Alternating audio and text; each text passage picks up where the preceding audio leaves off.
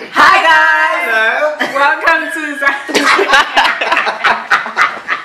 Welcome to Zande. This is yet another episode.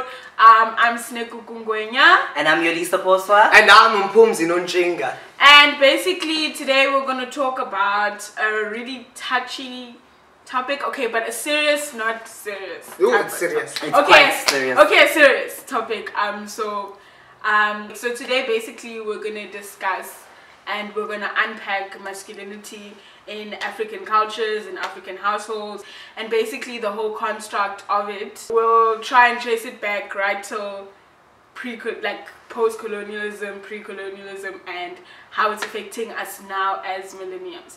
So And how does it affect us specifically? yeah, like Yeah. the three of As like-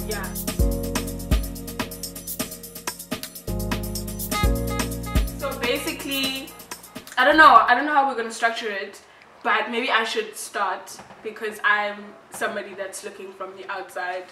Um, so I have a different perspective from what you guys obviously have. Yeah. Um, when I think of masculinity in African culture, I think of um, hierarchy, I think of power, I think of Patriarchy. patriarchy, I think of rape culture, I think of um, Dominance. dominance. Yeah, dominance is a very strong one. I think of exploitation. I think exploitation is very important because um, I know there's been. I was in some sociology tat, and there was this girl who was so adamant that the reason why there's this femicide against um, women, of course, because that's what a femicide is. But yeah, the reason why there's a femicide is because black men um, were stripped of their masculinity or their power How? by by white by white men. So in the Colonial. the whole, the whole colonial pro- project um, stripped them of their masculinity and their power, and therefore that was what, according to her, that's what is causing them to To try and Um, affirm that they are still yeah strong by to inflicting- rebel, right? Wow. Basically, I think it's utter nonsense because, like, black men went alone when the white people were decolon were colonializing um, Africa as a whole. Black men went alone, and literally, black women have been the dust of the dust of the dust from the beginning. So we were the dust Of the before, dust. like, of the dust. yeah, of the dust. Of the dust. Of the Of the dust. Of we were the dust before colonialism. We were the dust during colonialism. We're still the dust. Mm. So if and then Tinaktua were angry for no reason.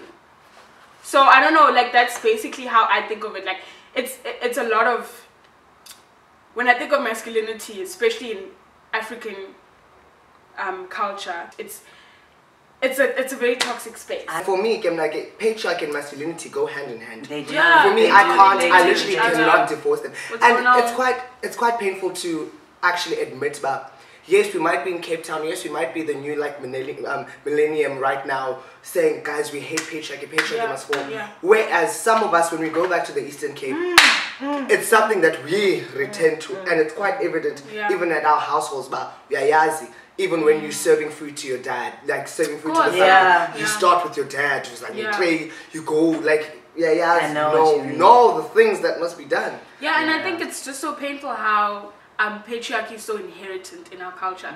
Like, it's like now all of a sudden patriarchy and respect goes hand in hand. Gandhi, it's not. Like, if I speak up for myself as a woman and I'm like, actually, you know what? You're not the head of the table, and I'm not gonna take that bullshit that I'm the neck because, you know, what's going on. Um, all of a sudden now I seem disrespectful. You seem like um, better than thou. When it's something that has always been evident for a long time. We don't need to have feminist readings. We don't need to come to university and engage in these conversations to know that the world is not equal. Yeah. Like we don't need to do that. So I I just think it's so irritating because of course when you go back home, um, there's the girls, the younger girls, the women, then there's the men, the younger men, and the, the boys, and yeah. like for example, when I go back home and I'm serving people, like definitely my guy cousins are gonna have the biggest piece yeah. of the meat. Definitely, I. That's true. I'm trying to eat true. as well. Yeah. Like I'm trying to. What's going yeah. I'm gonna drumstick. Yeah. Yeah. Or even a wing. We'll start to drumstick, but you wing your people. Ah, chonga kare. Like, But no, it's so true that you say that um, like patriarchy and masculinity is inherent. Yeah. Like you we So inherit that thing like deeply because I know back at home that I've inherited it. Yeah. And I admit I've inherited it because I'm the firstborn. Yeah. Um, I have a sister and a younger brother. And I know, ba, wow, utata xa engekho, they say, jonga, ngokuyindoda yalapha ngoku." Mm, Yebo? uyintloko. yintloko yekhaya ntoni ntoni ntoni Yeah, yeah, yeah, loo nto even uh, even when there's like ceremonies imicimbi neentoni neentoni neentoni uyayazi uba amadoda ngawaqhuba imithetho nezithethe Yeah. zendlu Yeah. yeah it's quite it's quite deep And it's actually quite scary because before Cape Town, before varsity, I never knew patriarchy. I would see the word, but I would never the thing even is Yeah, this you is never- so I would true, never know the definition wow until I came to Cape Yeah. Town. It's scary. It honestly scares me. And I, I have this thing of teaching my younger siblings and younger cousins Ukuthi, yeah. that listen, you are power as a woman. Mm.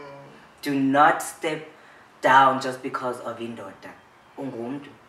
and when Yolisa says that, like he only encountered patriarchy as a word here, he means it like as a term. Yeah. Because, like I said, it's something that is happening all Yeah. the time. Yeah. But now we have the privilege and we have the Education, opportunities to even. come to this, these Yeah. institutions and to actually analyze and actually um, like problematize and actually discuss and have and have these big fancy words to explain things that have been going on our whole lives. Uh, Like And that's why it's so important, guys. If you are educated and, and made aware of something, then you should mandate yourself and put a responsibility upon yourself to try and inform other people because nyanyani izinto ezinjena they need to like end because they are totally oppressive to some other people. Yeah. of course. Totally oppressive to some other people. Yeah. Of course, because like I know when a lot of people speak about patriarchy, they just think woman, man.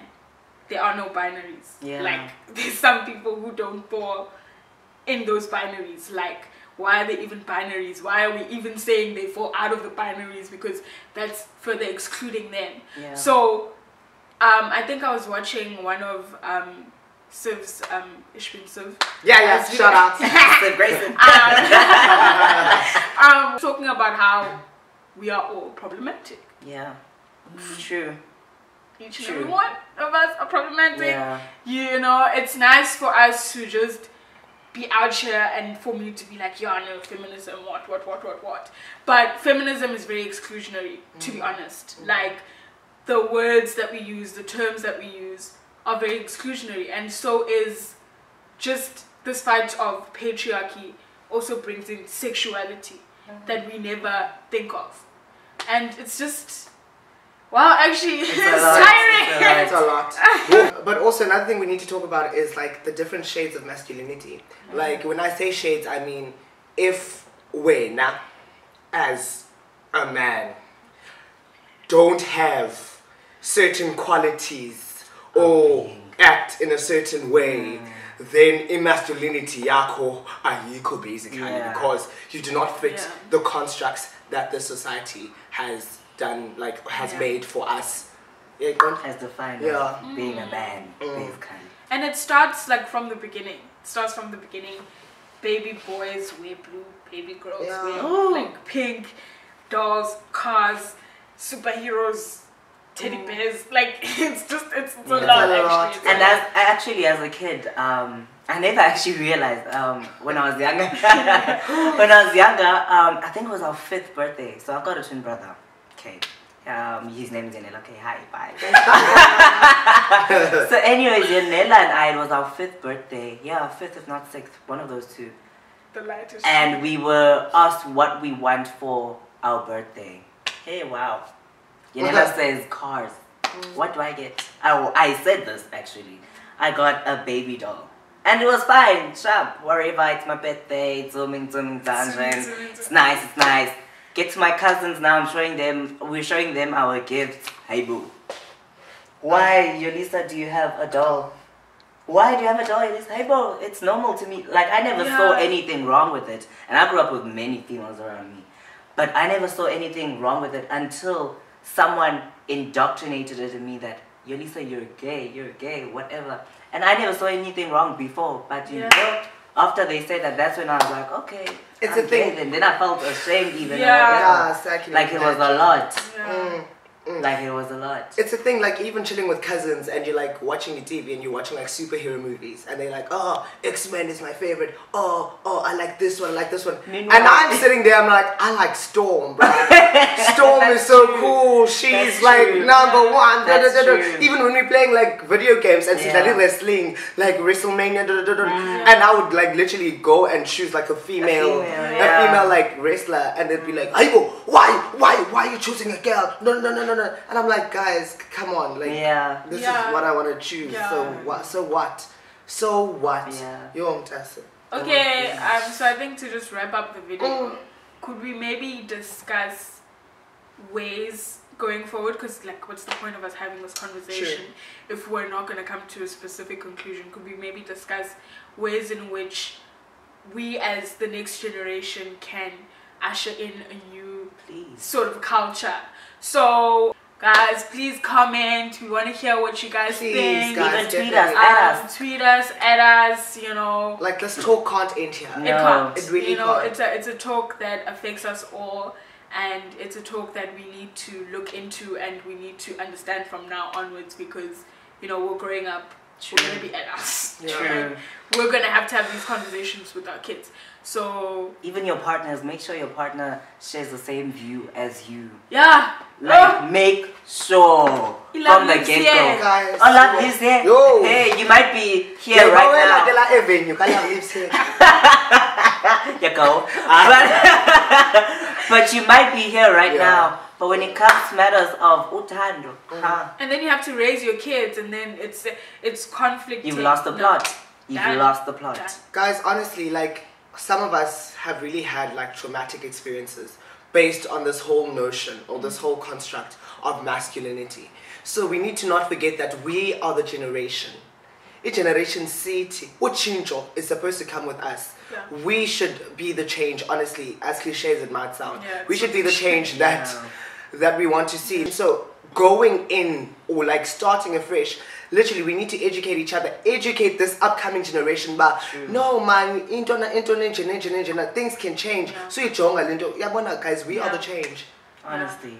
Yo, But yeah, please do comment and tell us. Yeah, we'd like we'd to like to start like a whole discussion. Like, let's make this, let's make this our thing as a millennial. please. and maybe like down the line we could have like a video where we have like a panel just discussing this based on the We'd comments and the to. questions that you guys have have on our page on our channel. So just post like any questions that you want to know about like um like experiences that we went through and stuff. Yeah. And we'll definitely like create another video to answer those questions. Assembly.